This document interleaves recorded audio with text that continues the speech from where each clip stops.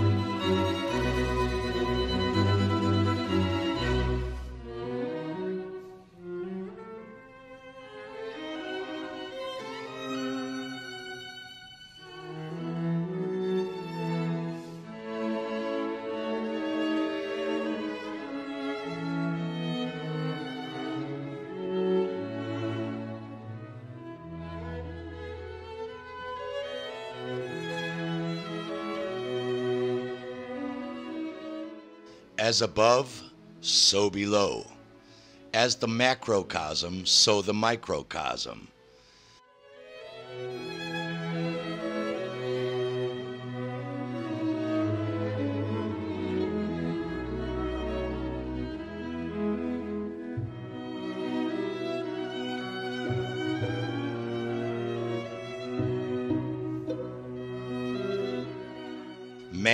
Is created in God's image. Meet the microcosmic Allah. Arm, leg, leg, arm, head. Allah, God, you. Bro, don't you blaspheme in here or I'll smash these plates over your head. Patience, Moses. You'll like where this is going.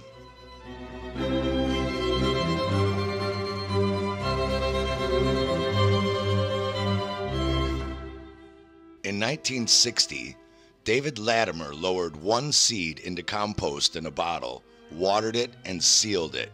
He only added water once more in 1972, and his tree is still alive to this day, 60 years later, last watered 48 years ago. Recently, a story has been going around that a massive root system four miles deep and four to seven miles in diameter was found under Devil's Tower, Wyoming, claiming it to be an ancient massive tree. While Reuters has fact checked the source and cannot find any credibility to this story, there are in fact hundreds of well researched videos and articles on the internet postulating that these thousands of tabletop mountains, plains, and plateaus around the earth are exactly that petrified stumps of ancient trees of a size we cannot possibly fathom today. My poor, thirsty, dying aloe plant got me thinking and begged me to research. How much water does a tree need every week, or every year for that matter? Clearly, I don't know, but apparently, a general rule of thumb is to apply 10 gallons of water for every inch of tree trunk diameter once a week if there is no outside natural source of water. If one of the smaller tabletop mountains, like Devil's Tower, were once a tree with a diameter of 923 feet, or roughly 11,000 inches, it would require at least 111,000 gallons of water each week, or roughly 5,800,000 gallons of fresh water every year. One of the bigger ones, like Table Mountain in Cape Town, South Africa, with a diameter of 2.3 miles or 145,000 inches, would require at least 1,451,000 gallons of water a week, or roughly 75,452,000 gallons of fresh water every year.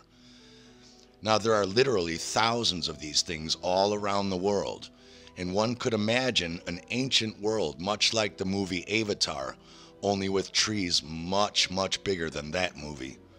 But where would all of the water come from to keep these trees alive? Trees cannot live on the salt water of our oceans and seas.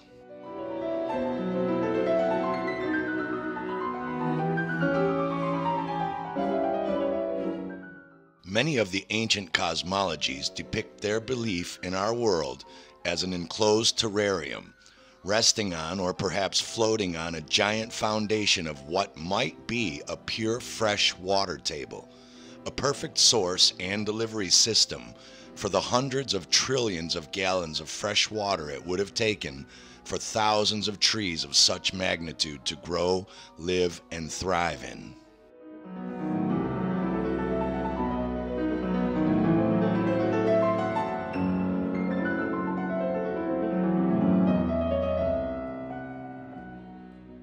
Many of these mesas and tabletop mountains have giant waterfalls pouring either off of them or out of the sides of them, but have no lake on top and are too flat to collect any amount of water or rain of such volume. So, where is the water coming from? If you've ever chopped down a tree or removed a tree branch, you'll notice it can still leak root sap and water for months to even years after it's been cut down.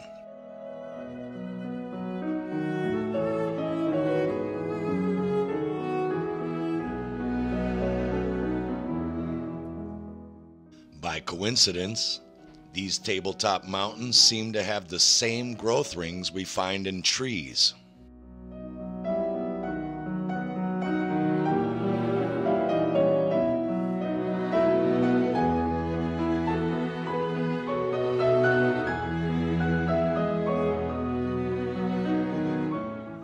All over the world, massive ancient tunnel systems have been discovered underneath mountains stretching unimaginable vast distances. Archaeologists are dumbfounded as to how on earth our ancestors could have dug all of these tunnels and why they would have done it. Today, we have modern advanced technological maser drilling machines to make our deep underground military bases and our tunnel systems, even for trains and undersea motor vehicle tunnels. But how then did the ancients dig them with these primitive tools? Well, what if they didn't? What if they are simply nothing more than the underground root systems from ancient trees of a size we cannot even comprehend?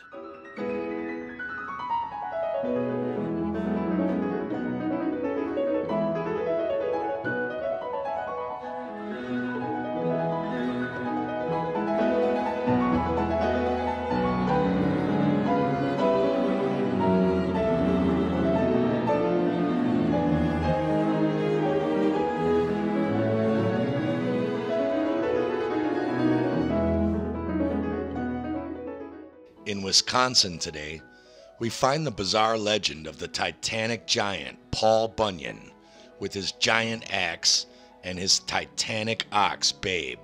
Now, there are giants, and then there are titans, not to be mistaken for each other.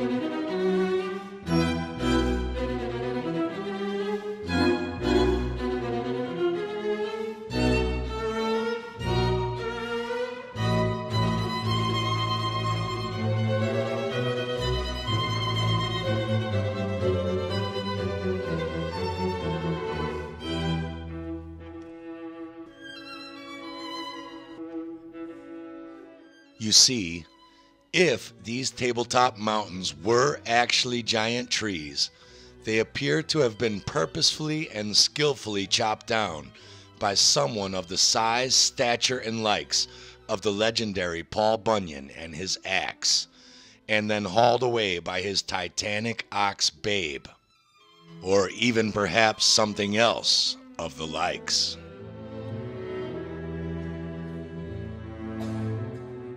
But that sounds ludicrous, unless, of course, we believe the ancients had some kind of technologically advanced gear machinery that was able to undertake a task such as chopping down a mountain sized tree, which seems laughable. Uh, or at least a little bit.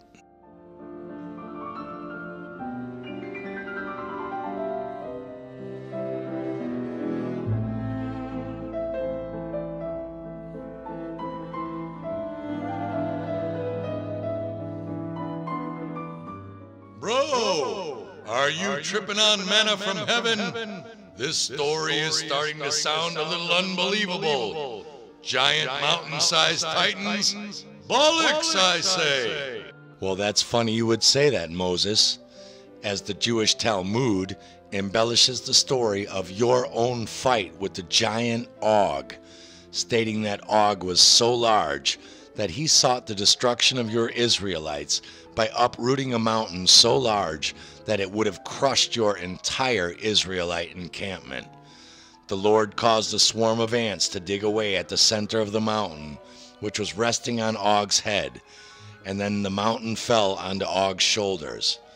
As Og attempted to lift the mountain off himself, the Lord caused Og's teeth to lengthen outward, becoming embedded in the mountain that was now surrounding his head. And allegedly, you, Moses, fulfilling the Lord's injunction not to fear him, seized a stick of 10 cubits length or 15 feet, perhaps an electromagnetic fasces weapon, and jumped a similar vertical distance in the air, succeeding in striking Og in the ankle, and Og fell down and died upon hitting the ground. That's right, I fried his dumb ugly ass real good. Or is this a metaphor for something happening in the astrological age of the Golden Bull Taurus or Babe the Ox? Of which you told Aaron's people to stop worshipping, which killed and petrified the Titans on this earth.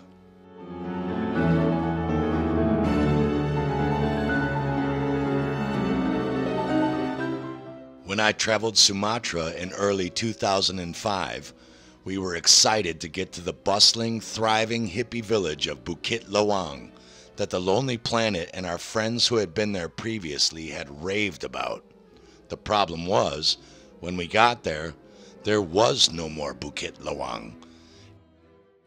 Excessive logging in Banda Aceh, over 237 miles away, had created a flood the year before that wiped out the entire village over one horrific night, leaving only two hilltop hotels and the orangutan reserve. It was as if the place had never existed. Trees and shrubs soak up water and keep our soil sturdy. On a world scale, what would happen to the soil if thousands of two to even 10 mile high trees were to be cut down and logged? And where would all of the underground water go that was normally soaked up by these trees? In fact, all around the world, and the northern parts especially, we find a strange phenomenon called circle lakes, table lakes, or sometimes crater lakes that look as if they were once giant tree trunks that have either been blown down by the wind or literally ripped out by the roots and left a giant fresh groundwater puddle. The strange legend of Paul Bunyan comes from Wisconsin and Minnesota, the land of 10,000 lakes, where many of these circle lakes can be found. In fact, on the other side of the world in Norway, Finland, and Sweden, also known for their many lakes, we find the same thing in their mythologies tales of trolls, ice giants, titans, gods, or creatures larger than mountains carrying enormous trees as clubs, swords, or axes, etc. And one has to wonder at the origins of such mythologies.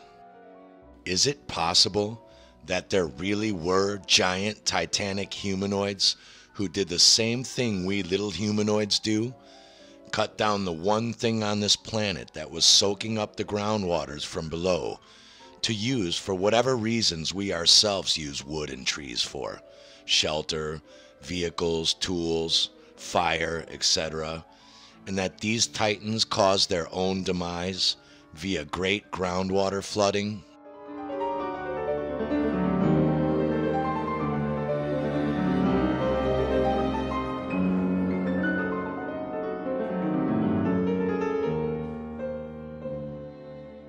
The Bible speaks of the seven rivers, which we know is a metaphoric parable for the seven churches of God, the seven chakras, the seven colors of the rainbow electromagnetic spectrum, seven major notes of the music scale, the seven trumpets of Revelation, seven seals of Revelation, the seven major systems of the human body and flowering plants, seven major visible planets, seven alleged continents, seven in numerology, seven days of the week, and on and on.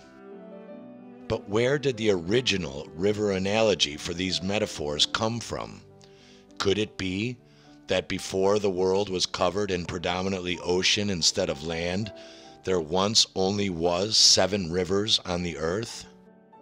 As bizarre as it sounds, all of the world maps that we have that predate the alleged year 800 of our good Lord suggest something not too far off from that.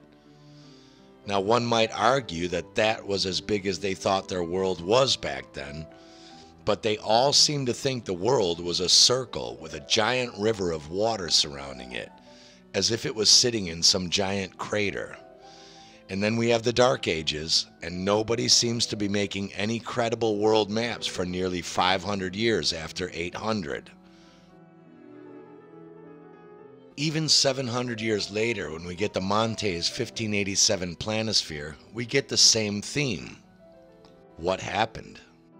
As to what any of this has even remotely anything to do with Atlantis, the line of thought that we're following here is to question do sea levels rise and fall? Or do land masses rise and sink in a stable sea level? And if so, how and why? Well, why do helium or hydrogen balloons float in the air? Because they are lighter than air, as is methane gas, which is found in abundance below the earth and the oceans, and is most controversial these days with fracking. But why and what is a gas lighter than air even doing in abundance under our earth in the first place?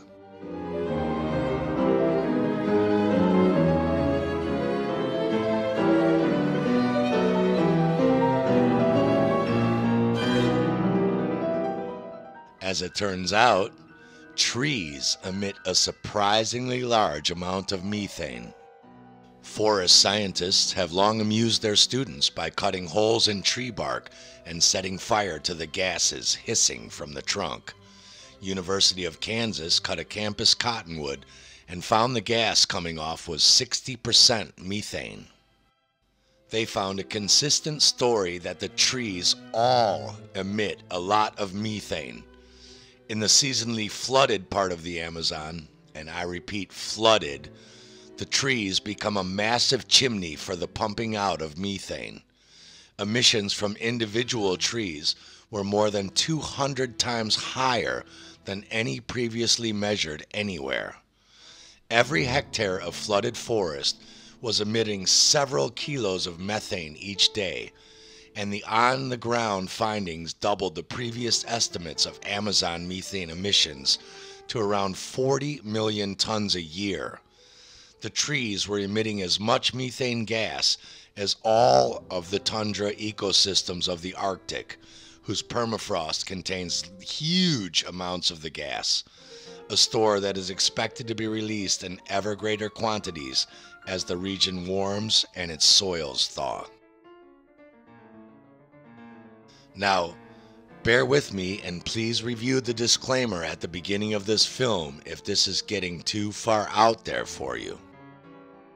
The Rockefeller oil industry claimed that all of the oil used every day by the 10 billion people since its alleged discovery in China in 347 AD is all from the fossils of buried dinosaurs. If this sounds ridiculous to you, it's probably because it is ridiculous. How many alleged dinosaur skeletons would it take to run all of the cars, trains, planes, and machines using oil worldwide just today alone? Have you ever seen a skeleton dug up in a puddle of its own oil?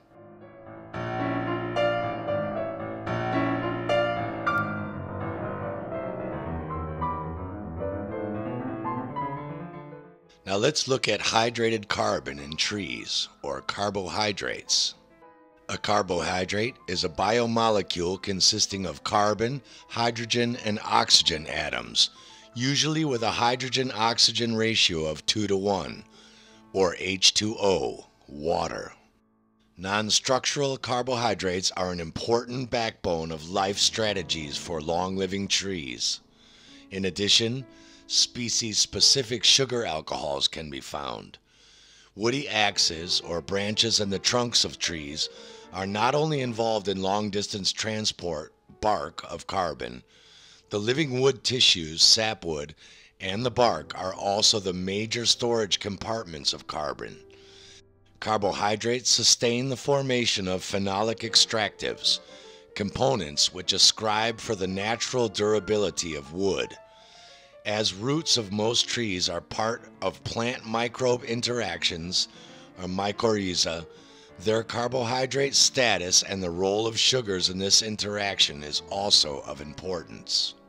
Enteric fermentation is a digestive process by which carbohydrates, such as in dead tree roots, are broken down by microorganisms into simple molecules for absorption into the bloodstream of animals and just happens to be the third biggest source of methane emission, right after landfills and natural gas. Later, petroleum, burning of agricultural residues like trees, and silicon carbide production are the other biggest causes of methane gas emissions.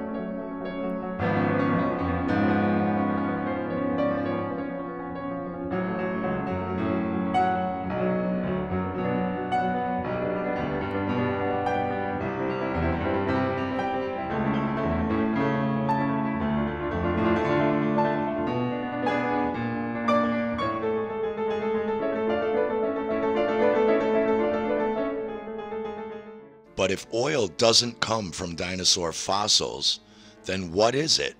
Where does it really come from? And why is there so much of it underground? Kerogen is a fossilized material in shale and sedimentary rock that yields oil upon heating. It is organic matter that is insoluble or cannot be dissolved in organic solvents like benzene and it is the precursor of both oil and natural gas like methane. But then, what organic material in these rocks, if not dinosaurs? Sedimentary rocks are formed from pre existing rocks or pieces of once living organisms. You mean like giant fallen trees and titans? They form from deposits on the Earth's surface and are also found deposited in lakes and oceans. Again, kerogen is a solid, insoluble organic matter in sedimentary rocks consisting of an estimated 10 to the 16th power tons of carbon and is the most abundant source of organic, meaning once living, compounds on Earth, exceeding the total organic content of current living matter by 10,000 fold. Well, then, what organic matter was once 10,000 fold more abundant than it is currently, if not trees? In the leading lamestream science theory, Dead organic material accumulates on the bottom of oceans, riverbeds, and swamps, mixing with the mud and sand. Over time, more sediment piles on top, and the resulting heat and pressure, you know, all of that heat in the wet, cold oceans, riverbeds, and swamps, transforms the organic layer into a dark and waxy substance known as kerogen. Left alone, the kerogen molecules eventually crack breaking up into shorter and tighter molecules composed almost solely of carbon and hydrogen atoms. Depending on how liquid or gaseous the mixture is, it will turn into either petroleum or natural gas. We are told that underground coal seam fires, like the Burning Mountain in Australia, can burn for at least as long as 6,000 years. At Germany's Brennender Berg, literally burning mountain in German, the coal has been on fire since 1688. Kevin Krajick wrote in the Smithsonian Magazine, even more remarkably, ancient subterranean fires shaped the very landscape of the West. Much of the landscape of the American West, its mesas and escarpments, is the result of vast ancient coal fires.